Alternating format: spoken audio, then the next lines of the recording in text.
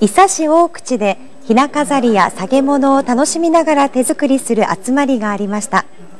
張持地区コミュニティセンターで地元の女性たちのグループいきいきサロンゆうゆうが取り組んだものです。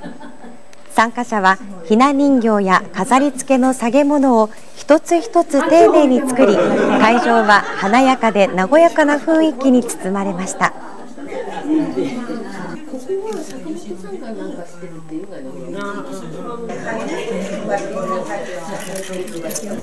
色合いが大事です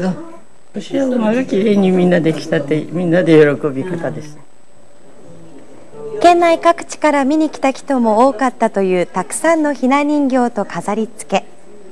撮影は姶良市の MBC ふるさと特派員中満清美さんでした。